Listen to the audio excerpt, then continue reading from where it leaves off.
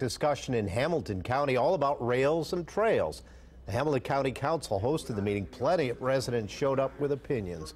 Currently, the plan is for the nickel plate rail to become a Monon style pedestrian trail south of downtown Noblesville and for the rail line to keep an historical train from Noblesville north.